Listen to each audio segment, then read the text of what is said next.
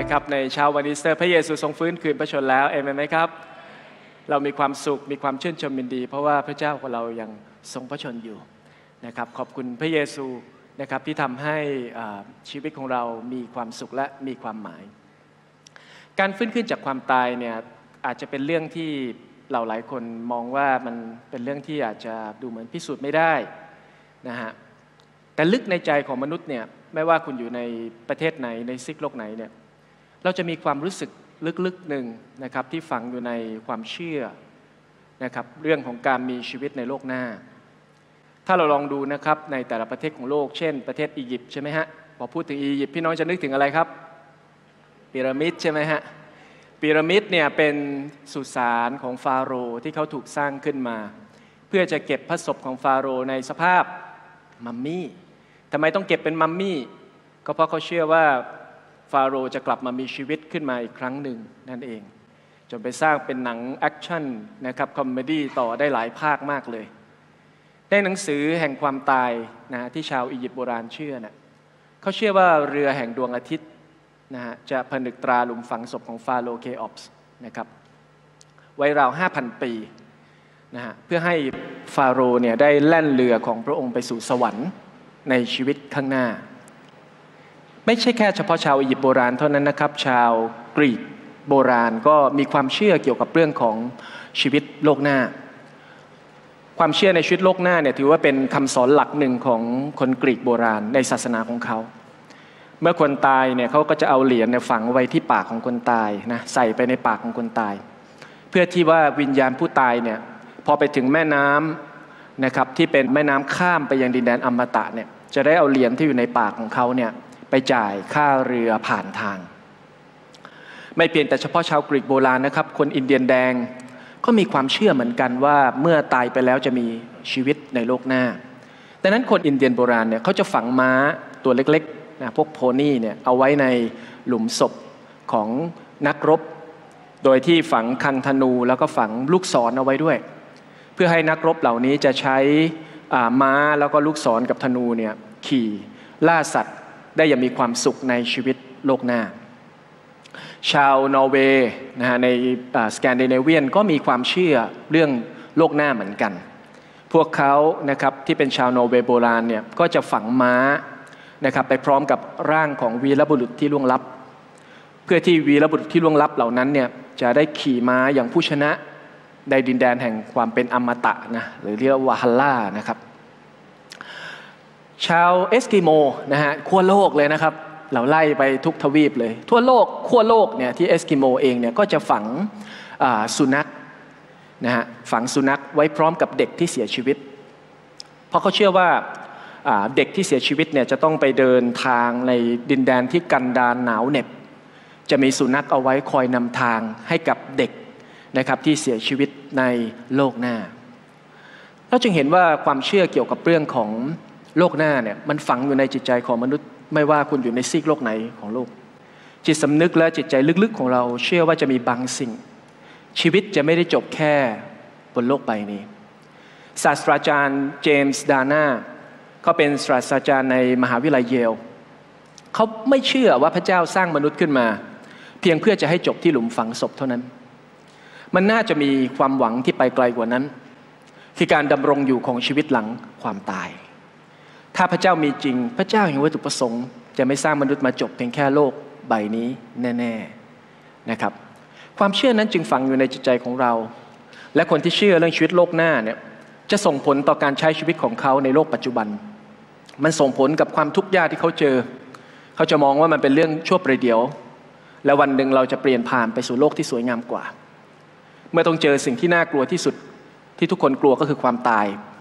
เขาก็จะมองว่าความตายเป็นแค่ประตูสำหรับการเปลี่ยนผ่านของชีวิต เมื่อจะใช้ชีวิตในโลกทุกวันนี้ เขาจะเตือนตัวเองว่าเขาจะเตรียมตัวยังไงสำหรับโลกหน้า จะประพฤติตัวยังไงจะใช้ชีวิตอย่างไร ให้เหมาะสมกับความจริงนี้ ความจริงเรื่องโลกหน้าเนี่ยจึงส่งผลกับโลกนี้ของเรา มันทำให้เราใช้ชีวิตในโลกใบนี้อย่างมีจุดมุ่งหมาย แต่ท่ามกลางความเชื่อทั้งหมดที่ผมได้เล่าให้พี่น้องฟังเมื่อสักครู่นี้เราไม่เคยพบเห็นมนุษย์คนไหนในโลกเลย ที่ฟื้นขึ้นจากความตายขณะมีชีวิตอยู่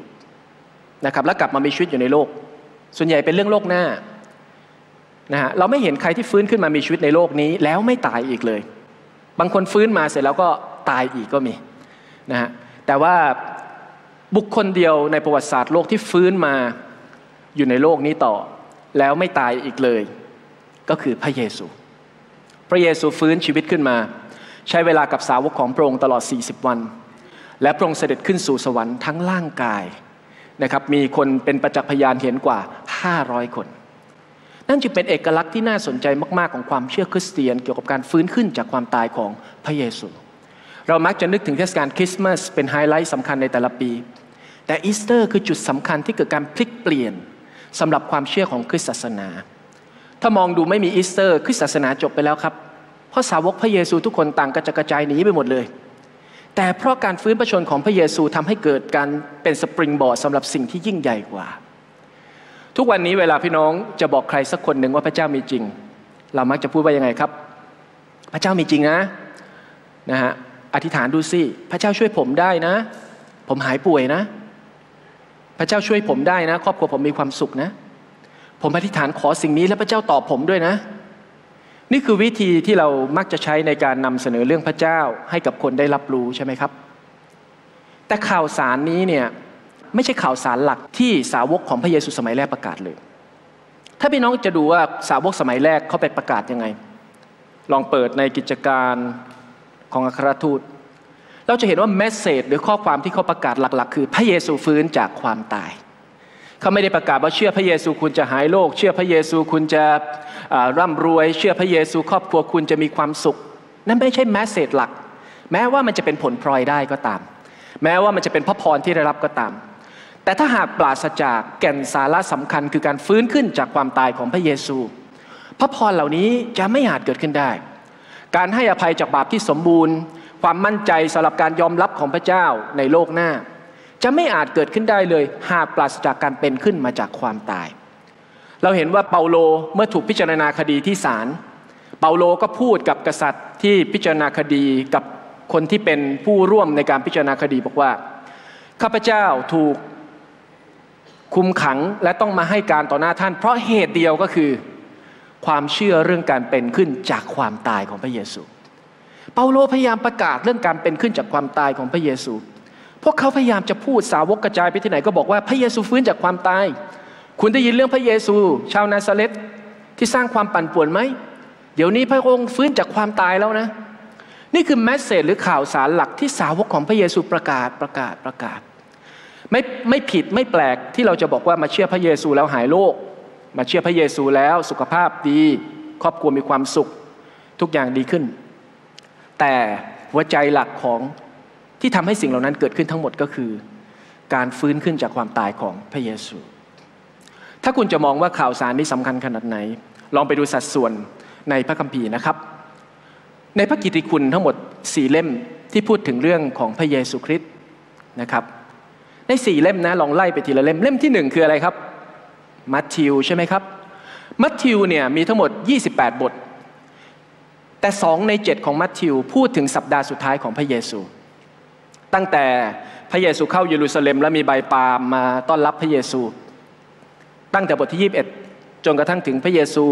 เผชิญช่วงสัปดาห์สุดท้าย ถูกจับกลุ่มตรึงที่กังเขนและฟื้นขึ้นจากความตาย ตั้งแต่สัปดาห์สุดท้ายของพระเยซูบันทึกไว้สองในเจ็ดมาระโกบันทึกไว้ 3 ใน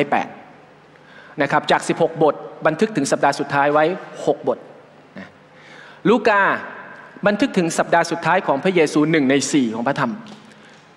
จาก 24 บทบันทึกเอาไว้ 6 บทด้วยกัน และเล่มที่เยอะมากๆคือยอน ยอนพูดไปถึงเกือบกึ่งหนึ่งเลย เกือบครึ่งหนึ่งของพระธรรมยอน พูดถึงสัปดาห์สุดท้ายของพระเยซูคริสต์นั่นกำลังชี้เห็นว่าพระคัมภีร์สี่เล่มในพระกิตติคุณให้ความสำคัญกับสัปดาห์สุดท้ายของพระเยซูมาก ๆเลย ในพระคัมภีร์สี่เล่มมีทั้งหมด 89 บทครับใน 89 บทนั้น 5 บท จาก 89 บท พูดถึงช่วงเวลา 30 ปีแรกของพระเยซูคริสต์5บทจาก 89 บท พูดถึงช่วงการกำเนิดของพระเยซูนะครับแล้วก็จนถึงพระเยซูเนี่ยเริ่มบัพติศมาในน้ำนะครับก็เริ่มเกิดการพลิกเปลี่ยนฉะนั้น 30 ปีแรกพูดแค่ 5 บทเอง แต่สัปดาห์สุดท้ายของพระเยซูพูดไว้ 30 บทด้วยกัน แม้ว่าการประสูติของพระเยซูจะเป็นเรื่องที่สำคัญ แต่การไถ่ของพระเยซูการสิ้นพระชนและการฟื้นขึ้นจากความตายของพระเยซู คือหัวใจที่สำคัญที่ทำให้ข่าวประเสริฐนั้นมีพลัง หัวใจที่สำคัญที่บอกว่าการไถ่บาปนั้นมีฤทธิ์อำนาจจริง ๆ และเป็นแกนหลักของความเชื่อคริสเตียน สิ่งนี้ทำให้เราเกิดความเข้าใจว่าการสิ้นพระชนและการฟื้นพระชนคือหัวใจสำคัญของพระกิติคุณของพระเยซู แน่นอนเราอาจจะเปลี่ยนวิธีนำเสนอเรื่องราวพระกิติคุณ เราอาจจะพูดถึงประสบการณ์ชีวิตที่เปลี่ยนแปลง พระเจ้าตอบคำอธิษฐาน พระพรที่ได้รับในหน้าที่การงาน แต่ทั้งหมดไม่ใช่เป้าหมาย ทั้งหมดเป็นเพียงแค่วิธีการนำเสนอเพื่อจะพาคนไปสู่หัวใจหลัก สิ่งที่เปลี่ยนแปลงคนเปลี่ยนแปลงชีวิตจริง ๆ ไม่ใช่เพียงแค่คำสอนที่ดี แต่การเปลี่ยนแปลงชีวิตที่แท้จริงและมีพลังที่สุดเกิดจากพระกิตติคุณของพระเยซูพระเยซูสิ้นพระชนและพระเยซูชนะความตายชนะความบาปฤทธิ์อำนาจแห่งไม้กางเขนสามารถเปลี่ยนแปลงชีวิตคุณได้อย่างแท้จริง ก่อนที่ผมจะเป็นคริสเตียนเนี่ย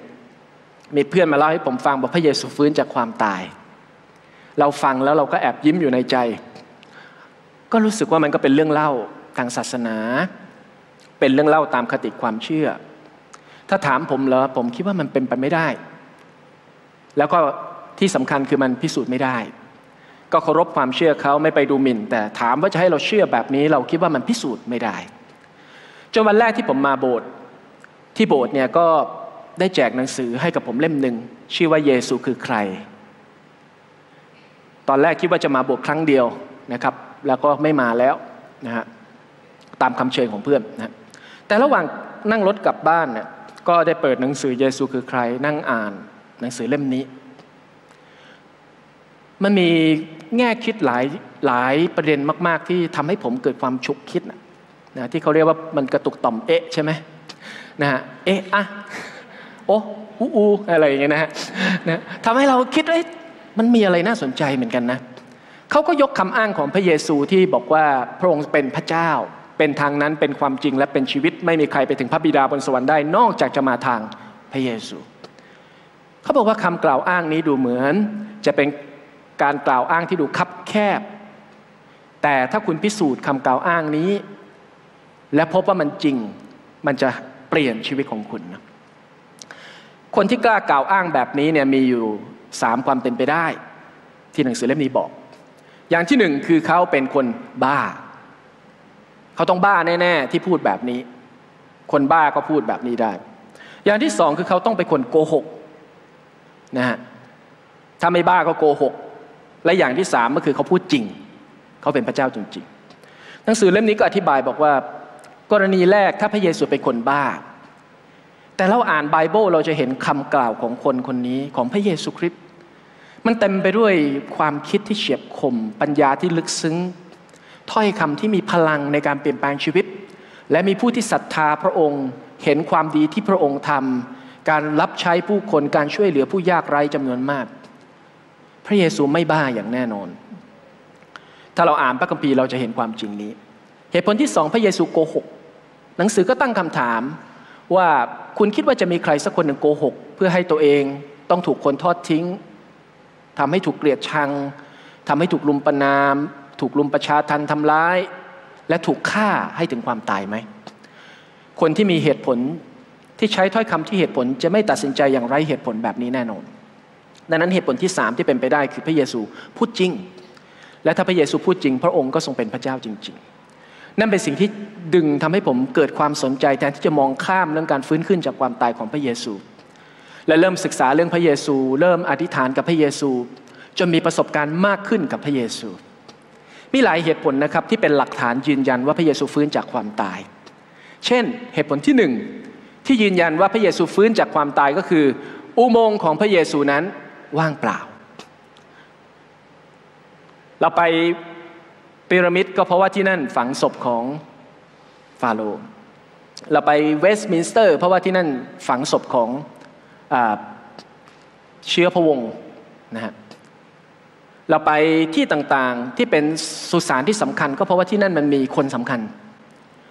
แต่คริสเตียนทั่วโลกไปที่อุโมงค์ของพระเยซูคริสต์ที่อิสราเอลเพื่อจะมองเห็นว่าไม่มีศพอยู่ที่นั่น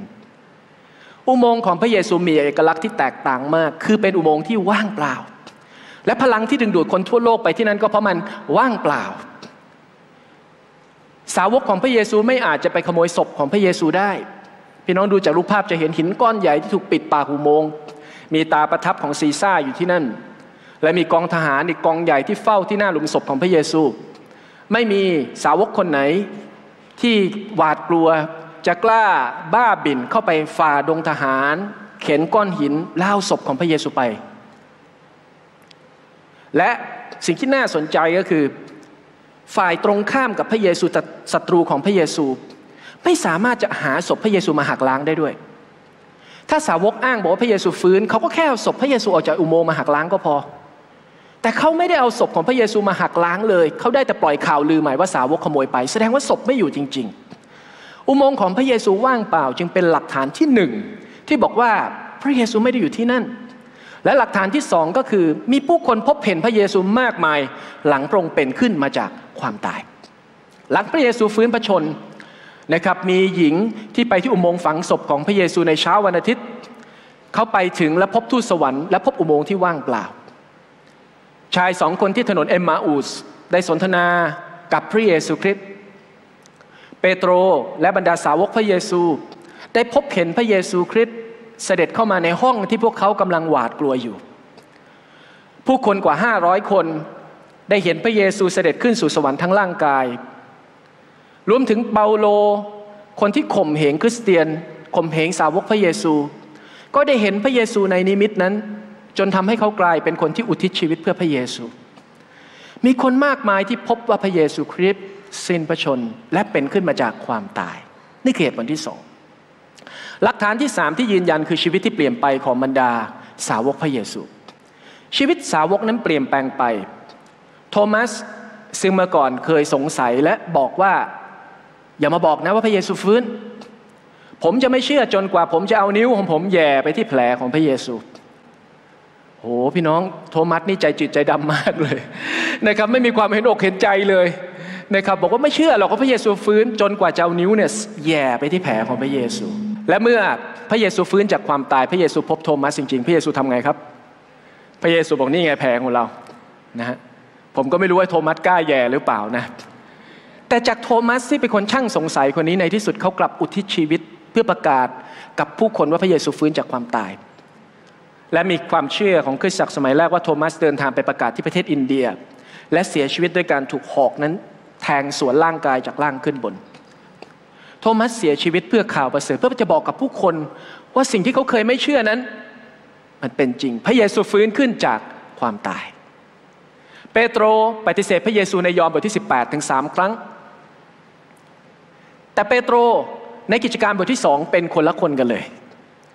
เพียงแค่ 40-50 วันให้หลัง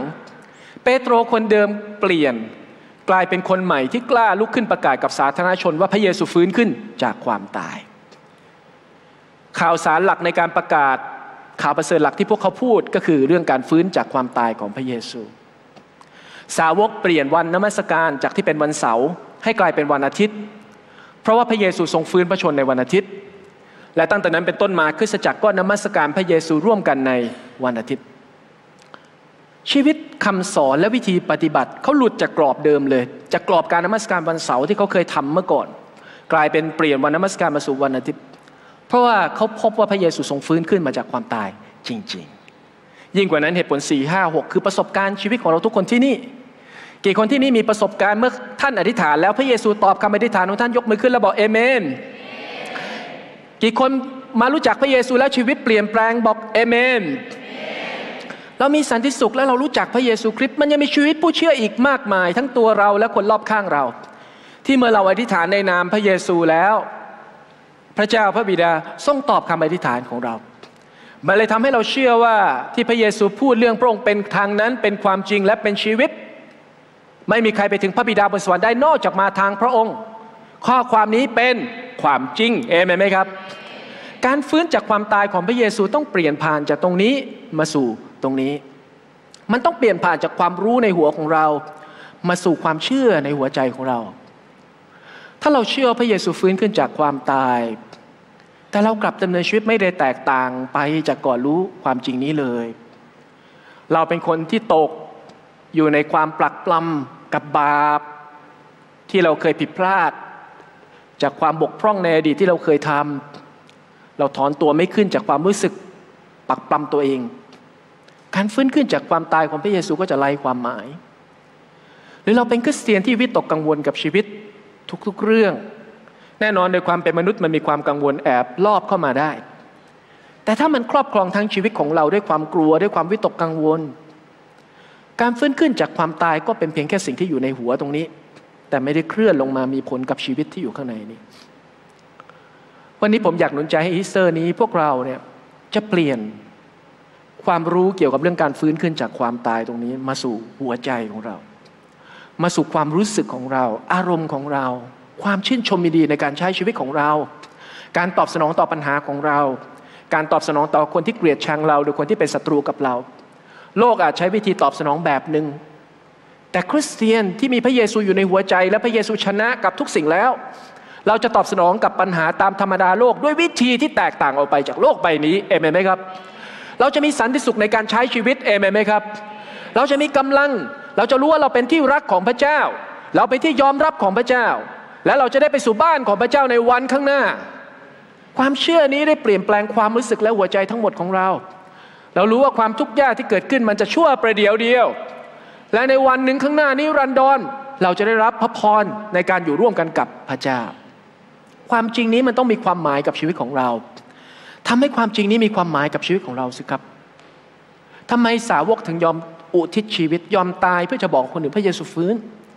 เพราะถ้าคุณเปลี่ยนความรู้เรื่องพระเยซูฟื้น เป็นฤทธิ์อำนาจจริงในความรู้สึกในจิตใจในจิตวิญญาณ และใช้ชีวิตตามสิ่งนี้ ชีวิตทั้งหมดของคุณจะเปลี่ยนไปอย่างสิ้นเชิงชีวิตเราจะเปลี่ยนไป ถ้าการฟื้นคืนพระชนของพระเยซูไม่ได้เป็นแค่ความรู้เท่านั้น แต่เป็นความเชื่อเป็นลมหายใจ เป็นค่านิยม เป็นสิ่งกำหนดความรู้สึกทำให้เรามองปัญหาเดิมเปลี่ยนไป และมีชีวิตที่ไม่เหมือนเดิม การฟื้นพระชนม์ของพระเยซูมีความหมายต่อเราอย่างไร ผม list ไว้ประมาณ 4 ประการอย่างน้อยนะครับถ้า list ห้าหกเจ็ดได้ อย่างแรกก็คือมันยืนยันว่าพระเยซูเป็นพระเจ้านั่นเอง พระเยซูเป็นพระเจ้าแน่นอน พระเยซูเป็นคนแรกที่ฟื้นจากความตายและไม่ตายอีกเลย ไม่เพียงแค่นั้นนะครับ พระเยซูพูดไว้ล่วงหน้าก่อนตายด้วย ว่าตายแล้วสามวันจะฟื้น ผมยังพูดไม่ได้เลยผมจะตายวันไหนใช่ไหมครับ แล้วตายแล้วกี่วันแล้วจะฟื้นนี่ยิ่งพูดไม่ได้เลยนะแต่พระเยซูพูดในมัทธิวบทที่ 16 ข้อ 21 บอกว่า พระองค์บอกกับสาวกตั้งแต่มัทธิว 16 แล้วนะ ก่อนจะถูกตรึงในมัทธิว 20 กว่า พระเยซูเริ่มบอกสาวกว่าพระองค์จะต้องทนทุกข์นะ ในการไปเยรูซาเล็ม พระองค์จะถูกประหาร แต่ในวันที่สามพระองค์จะเป็นขึ้นมาใหม่ พระเยซูพูดล่วงหน้าเลย ว่าจะฟื้นในวันที่สามดังนั้นพวกธรรมาจารย์นักการศาสนาจึงไปร้องกับผู้ครอบครองเมืองว่าให้เอาทหารไปเฝ้าหลุมศพพระเยซู เพราะชายผู้นี้เคยบอกว่าตายไปแล้วสามวันจะฟื้น เดี๋ยวสาวกเขาจะมาขโมยศพ แต่แล้วพระเยซูก็ฟื้นจากความตายจริง ๆ พระองค์เป็นทางนั้นเป็นความจริงและเป็นชีวิต ถ้าพระเยซูเป็นพระเจ้า การไถ่บาปก็เกิดขึ้นกับเราได้ ถ้าพระเยซูเป็นพระเจ้า พระองค์ก็เตรียมเป็นเจ้าของสวรรค์ และที่พระองค์บอกว่าพระองค์ไปเพื่อเตรียมที่ไว้ให้กับสำหรับเราทั้งหลาย ก็เป็นความจริงว่าเรามีที่พำนักอันถาวรบนสวรรค์เมื่อจากโลกนี้ไป สิ่งที่สองถ้าพระเยซูฟื้นจากความตายมีมินนิ่งกับเราก็คือ มันกำลังบอกว่าการอัศจรรย์มีจริง การอัศจรรย์มีจริง ทุกอย่างพลิกได้ แม้เพียงค่ำคืนเดียว หญิงที่ไปหลุมศพพระเยซูไม่ได้คาดคิดว่าพระเยซูจะฟื้นจากความตาย เธอจึงประหลาดใจ การอัศจรรย์มีจริง การฟื้นขึ้นจากความตายกำลังบอกกับปัญหาในชีวิตคุณว่ามันมีการอัศจรรย์ได้ พระเจ้ายิ่งใหญ่และพระองค์ทำการอัศจรรย์ได้จริง ๆ ในวันที่มืดแปดด้าน พระเจ้าจะเป็นความสว่างให้ ในวันที่ทุกอย่างปิดตัน พระเจ้าจะเปิดผลหนทางให้ ในวันที่เป็นไปไม่ได้ พระเจ้าคือความเป็นไปได้ของเราเอเมนไหมครับ และสิ่งที่สามเมนิ่งในชีวิตของเราจากการฟื้นพระชนของพระเยซูคือ เราชนะบาปได้พูดพร้อมกันสิครับเราชนะบาปได้ การอัศจรรย์มีจริง พระเยซูเป็นพระเจ้าเอเมนไหมครับ เราชนะบาปของเราได้ พระเยซูฟื้นประชน บาปทำให้มนุษย์ต้องตาย การฟื้นประชนและไม่ตายอีกเลย เป็นสัญญลักษณ์ที่สื่อว่าผลของบาปนั้นได้รับการแก้ไข พระเยซูฟื้นขึ้นและชนะผลของบาปคือความตายได้ พระเยซูจึงสามารถจะช่วยเราให้ชนะบาปของเราได้ ในหนึ่งโครินธ์บทที่ 15 ข้อที่ 17หนึ่งโครินธ์บทที่ 15 ข้อ 17 ถ้าพระคริสต์ไม่ได้ทรงถูกทำให้เป็นขึ้นมา ความเชื่อของพวกท่านก็ไร้ประโยชน์ ท่านก็ยังคงอยู่ในบาปของตน แต่การฟื้นพระชนเป็นสิ่งที่ยืนยันว่าเราได้รับการอภัย บาปได้รับการถอดถอนโทษทันของมันออกไปจากชีวิตของเราบางคนบอกทำไมบาปยังเขียวสะพลั่งอยู่ในชีวิตของผมอยู่เลยไหนบอกว่าพระเยซูฟื้นแล้ว ผมชนะบาป แต่ทำไมบาปดูเหมือนยังเขียวสดในชีวิตของผม พี่น้องนึกถึงดอกไม้ที่ถูกตัดมาเสียบในแจกันสิครับ ดอกไม้นั้นอาจจะสวยสดงดงามใบของมันยังคงเขียวอยู่ แต่ดอกไม้นั้นเนี่ยตายแล้วต้องแต่วันที่มันถูกตัด บาปในชีวิตของเรา มันอาจจะดูเหมือน ยังดูสดใหม่ ๆ เมื่อเช้านี้เลยนะแต่ว่ามันตายแล้ว มันกำลังเหี่ยวลงเหี่ยวลงเหี่ยวลง ชีวิตใหม่ในพระเยซูคริสต์กำลังเจริญเติบโตขึ้น และสิ่งที่เคยเขียวสดของชีวิตเก่าของบาปนั้นกำลังค่อยๆตายลงไปอำนาจของบาปไม่สามารถมีชัยเหนือเราได้ เพราะพระเยซูทรงชนะบาปแล้ว เมื่อจากโลกนี้ไปบาปไม่สามารถจะปลักปลำเราได้ เราเป็นผู้ที่พระเจ้าทรงยอมรับแล้ว พระเจ้าเปลี่ยนแปลงชีวิตของเราได้เอเมนไหมครับ เมื่อเรามองดูความอ่อนแอในชีวิตของเรา เราจะไม่หาข้ออ้างให้กับความอ่อนแอของเรา เพราะเรารู้ว่าพระเยซูชนะทุกบาปในชีวิตของเราได้ และพระเยซูจะช่วยเราให้เปลี่ยนแปลงชีวิตและเป็นเหมือนพระองค์ เราจึงมองดูทุกความอ่อนแอของเราอย่างคนที่มีความหวัง และสุดท้ายประการที่สี่คือชีวิตเรามีความหวัง พระเยซูเป็นพระเจ้า การอัศจรรย์มีจริง ชีวิตเราสามารถมีชัยเหนือบาปได้ และสิ่งสุดท้ายคือชีวิตเรามีความหวังครับ เรามีความหวัง พระเยซูเป็นบุตรหัวปี เป็นบุตรแรก first born ของการเป็นขึ้นมาจากความตาย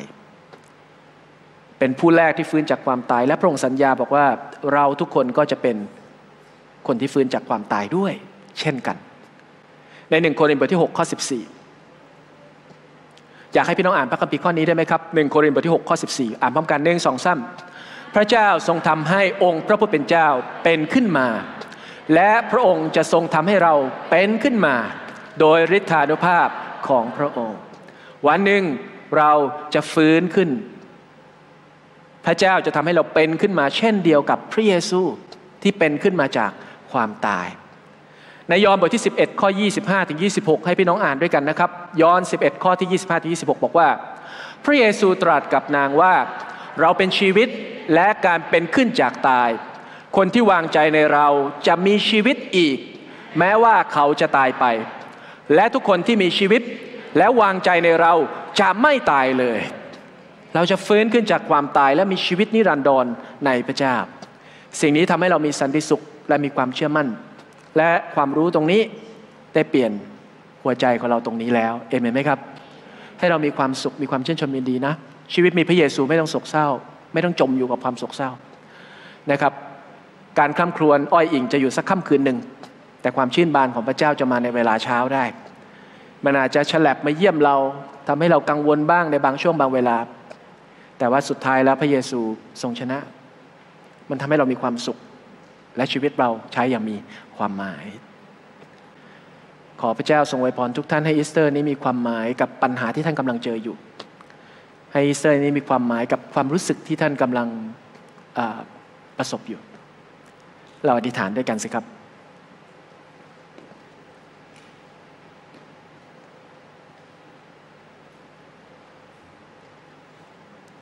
ลองใคร่ครวญถึงความจริง เรื่องการฟื้นขึ้นจากความตายของพระเยซู ว่าสิ่งนี้มีความหมายอย่างไรกับชีวิตของเรา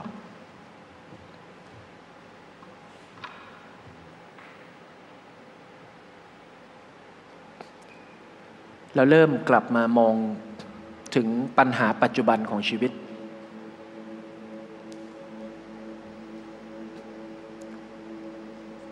ท่านาจเจอเรื่องยากๆ หรือเจอเรื่องที่ปวดใจ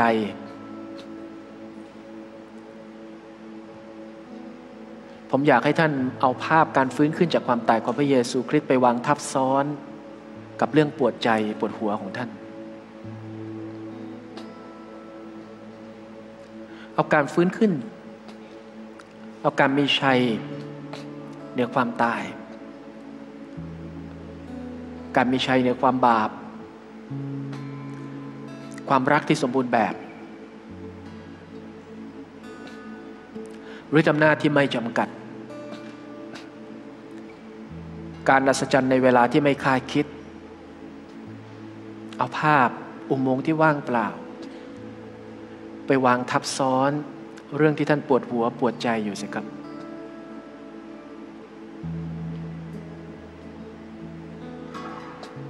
และขอให้ท่านเริ่มพูดอธิษฐานกับเรื่องปวดหัวปวดใจเหล่านั้น ด้วยความหวังด้วยภาษาใหม่ เริ่มต้นอธิษฐานกับเรื่องเหล่านั้นด้วยคำอธิษฐานในภาษาใหม่ ถ้าเรื่องปวดหัวปวดใจปวดกายคือสุขภาพร่างกาย เริ่มต้นเอามือของท่านวางบนส่วนที่ร่างกายของท่านปวดกาย เจ็บปวดนื่นั้น และพูดกับมันด้วยการฟื้นพระชนของพระเยซู พูดกับความป่วยไข้ของท่านด้วยการฟื้นคืนพระชนของพระเยซูฤทธิอำนาจของพระองค์ฤทธิอำนาจแห่งการฟื้นคืนพระชน อุโมงค์ที่ว่างเปล่าของพระเยซูได้ถอดถอนเหล็กในแห่งความตาย ได้ถอดถอนรากแห่งความบาปและการปลักปลำทั้งปวง ได้ปลดเปลื้องฤทธิอำนาจของซาตานออกไปจากชีวิต และวันนี้ข้าพเจ้าเป็นไทยมีชีวิตใหม่ฤทธิอำนาจของพระบิดาสัมผัสหัวใจของเรา สัมผัสร่างกายที่เจ็บป่วยของเราทั้งสิ้น ให้หายดี ให้ได้รับการเยียวยา ให้ได้รับการรักษาใหม่ฮาเลลูยาฮาเลลูยาฮาเลลูยาฮาเลลูยาใครที่รู้สึกมีความหนักอกปวดหัวใจ ปวดใจของท่านมีความทุกข์อยู่ในจิตใจ เอามือวางที่หัวใจของท่าน และเริ่มต้นพูดถึงชัยชนะที่อุโมงค์ของพระเยซูคริสต์การฟื้นขึ้นจากความตายของพระเยซูคริสต์ได้ปลดปล่อยทำให้ข้าพเจ้ามีเสรีและชีวิตใหม่ ความหนักอกหนักใจเอ๋ยจงถูกหยิบยกออกไปด้วยฤทธิอำนาจพระเยซู สันติสุขการปลดปล่อย เสรีภาพจงพร่างพรัวมาจากภายในหัวใจของเรา โอ้พระวิญญาณบริสุทธิ์ ขอทรงให้การปลดปล่อยเสียงเพลง ความชื่นชมยินดี จะเป็นอาวุธของข้าพเจ้า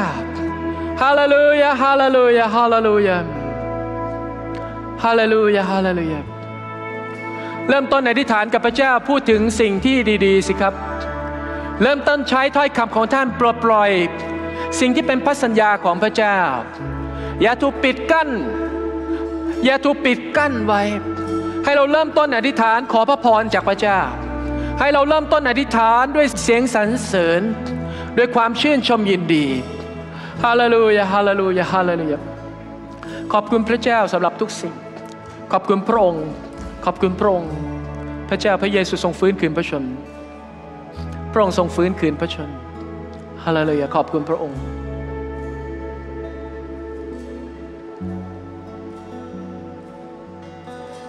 ขอบคุณพระเยซูข้าพระองค์ขอสรรเสริญพระองค์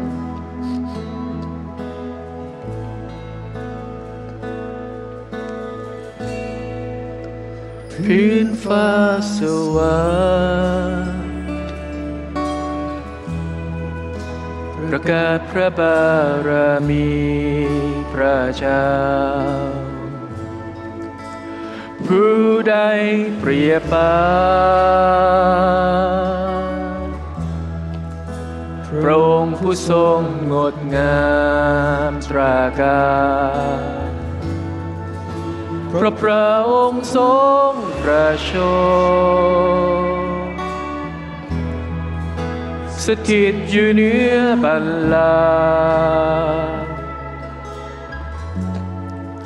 ล้อมรอบด้วยเสียงสรรเสริญนามัสการพระองค์ฉันจึงกราบลงตรงผู้ทรงสง่ารา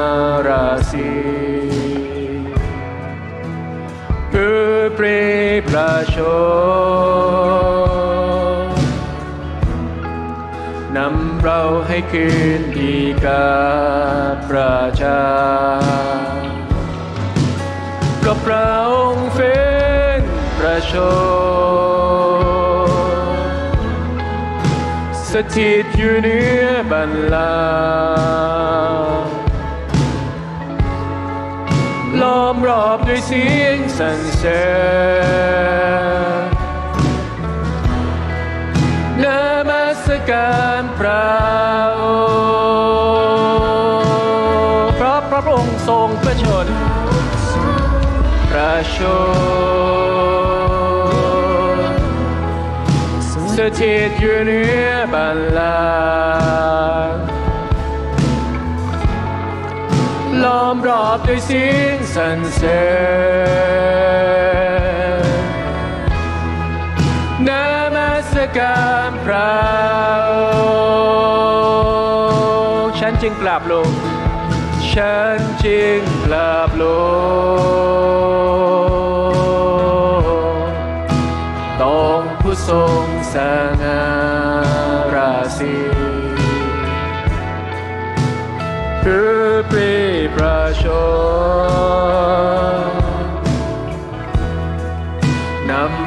ให้คืนดีกับประชา และพระองค์เป็นประชนสถิตอยู่เหนือบัลลังก์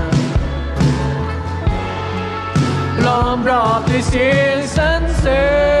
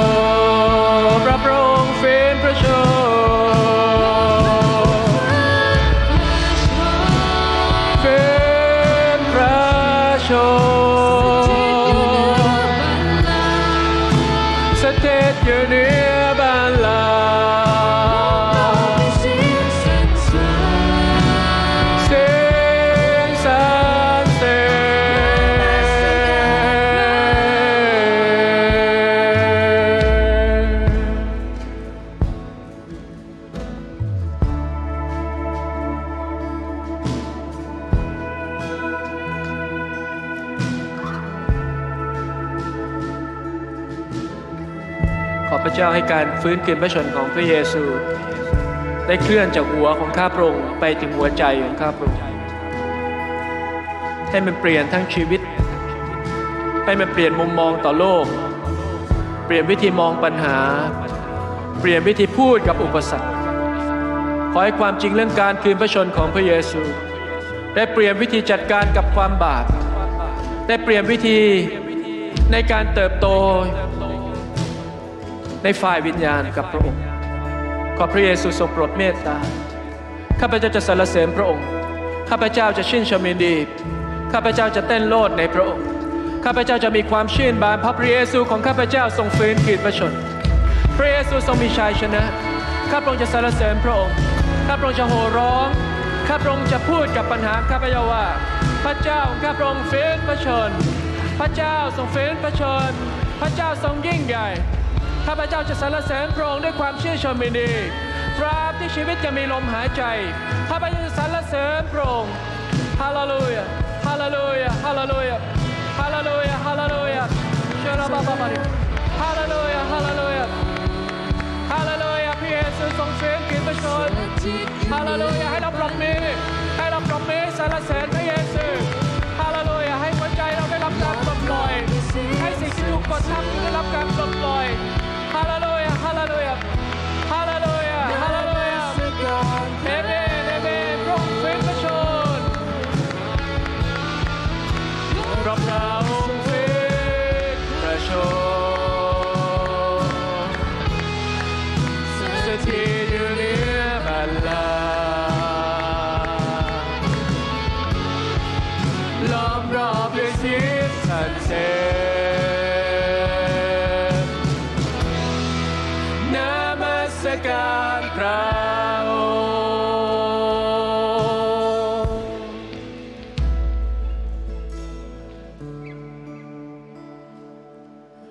พระเยซูที่พรองฟื้นขึ้นจากความตาย ขอบคุณพระเยซูที่คำสัญญาของพระองค์นั้นเป็นความจริง ขอบคุณพระเยซูผู้เป็นความหวังให้กับชีวิตของข้าพระองค์ ขอนมัสการพระองค์ ขอนมัสการพระองค์ด้วยทุกอย่างทั้งสิ้น ให้ชีวิตที่มีลมหายใจได้สรรเสริญพระองค์ ได้นมัสการพระองค์ ได้เป่าประกาศกับผู้คน ว่าพระเยซูทรงฟื้นขึ้นจากความตายแล้วข้าพงขอสรรเสริญพระองค์ผมอยากให้พี่น้องคริสเตียนลองทำสิ่งหนึ่งคืออีก 50 วันนับจากนี้ จะเป็นวันเพนเทคอสผมอยากให้ 50 วันข้างหน้านี้ ท่านได้ทำการทดลองบางอย่างกับชีวิตของตัวเอง ลองตั้งเป้าหมายเล็ก ๆ บางอย่าง ที่เป็นชัยชนะเล็ก ๆ หรือ small win ที่ท่านอยากจะร่วมกันกับพระเยซูคริสต์โดยการลองตั้งเป้าหมายเล็ก ๆ บางอย่างที่ท่านอยากจะมี actionในการกระทำที่ต่อเนื่องตลอด 50 วันข้างหน้า นั่นอาจจะหมายถึงสิ่งเล็ก ๆ เช่น การพับผ้าปูที่นอนทุกวันเพื่อสร้างวินัยเล็ก ๆ หรืออาจจะเป็นวินัยเล็ก ๆ ที่ว่าท่านอยากจะตื่นเช้าทุกวันเพื่ออธิษฐานกับพระเจ้าก่อนทำสิ่งอื่น อาจจะเป็นวินัยเล็ก ๆ ในการที่ท่านจะเปลี่ยนวิธีการพูดของตัวเอง กับคนที่บ้าน จะรับผิดชอบอะไรบางอย่างของชีวิตที่เป็นการเปลี่ยนแปลงบางอย่างในตลอด 50 วันข้างหน้านี้ วันนี้มีอะไรที่ท่านรู้สึกอยากจะเปลี่ยนแปลงตัวเองนะครับ ไม่ทราบว่าพี่น้องมีโพสต์อิทอยู่ไหมครับนะครับ เดี๋ยวด้านนอกจะมีโพสต์อิทนะครับที่เตรียมมาให้กับท่านนะครับ ผมอยากให้ท่านได้ลองเขียนถึงสิ่งที่ท่านรู้สึกนะครับ สิ่งที่ท่านตั้งใจเอาไว้นะครับ ด้านนอกเนี่ยจะมีพื้นที่สลับแปะความตั้งใจนี้ เราจะแปะเอาไว้แล้วเดี๋ยว 50 วันเราจะเอากลับมาตั้งดู ดีไหมครับ แล้วลองดูว่าสิ่งที่พี่น้องตั้งใจเนี่ย 50 วันผ่านไปแล้วมันเป็นยังไง ในวันเพนเทคอสปีนี้นะครับ ลองนึกถึงสิครับ อะไรสักอย่างหนึ่งก็ได้ที่ท่านอยากเปลี่ยน แล้วเดี๋ยวเราไปเขียนด้วยกัน เขียนตรงนี้จะเขียนชื่อท่านลงท้ายด้วย จะได้ระบุตัวได้ หรือไม่ต้องเขียนก็ได้นะครับ ไม่ต้องเขียนชื่อก็ได้ แค่เขียนข้อความแล้วว่าเป็นตัวการ์ตูนสักตัวให้เราเองรู้คนเดียวก็ได้ มันอาจจะเป็นเรื่องส่วนตัวของเรานะครับ เพียงแต่เรามาแปะในที่สาธารณะเท่านั้นเอง นั้นไม่ต้องระบุชื่อของท่านก็ได้นะครับวาดตัวการ์ตูนบางอย่างนะครับ หรือว่าไม่ต้องลายเซ็นไว้เดี๋ยวมันหาชื่อได้นะครับ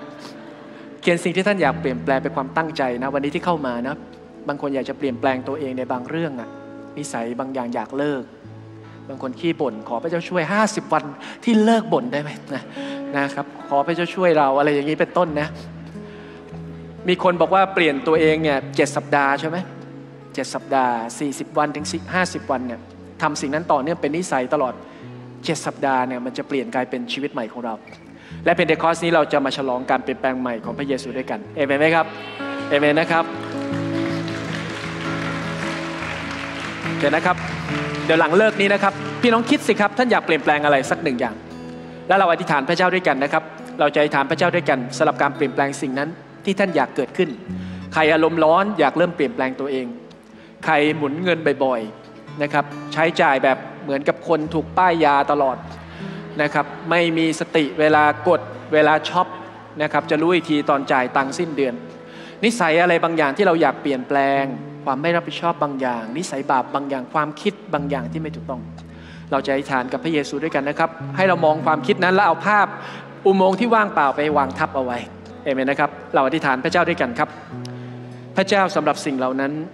นิสัยที่ข้าพระองค์ต้องการจะเปลี่ยนแปลง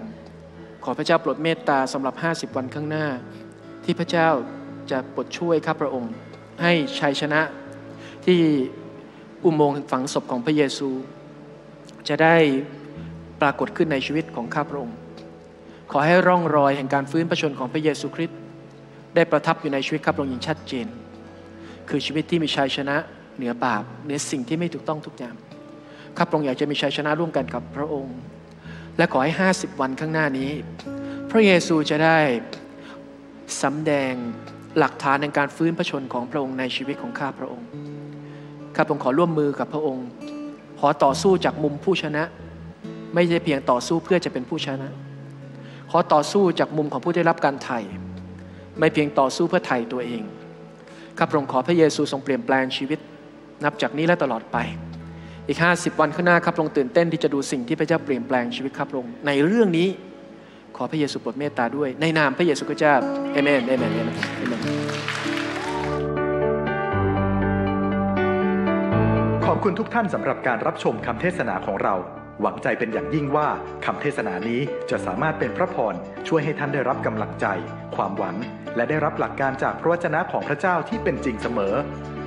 ำหรับท่านที่ปรารถนารู้จักพระเจ้า ท่านสามารถติดต่อเข้ามาที่คริสตจักรของเรา หรือคริสตจักรที่อยู่ใกล้บ้านท่าน เพื่อเข้าร่วมนมัสการและศึกษาเรื่องพระเจ้ามากขึ้น พี่น้องคริสเตียนเรายินดีต้อนรับทุกท่านเสมอครับสำหรับพี่น้องคริสเตียน ขอพระเจ้าอวยพรท่านให้บริบูรณ์ด้วยพระพรและมีกำลังในการดำเนินชีวิต เพื่อเราจะมีส่วนในการรับใช้พระเจ้า และเสริมสร้างคริสตจักรท้องถิ่นทุกแห่งในประเทศไทย ให้เข้มแข็งและเติบโต ขอพระเจ้าอวยพรครับ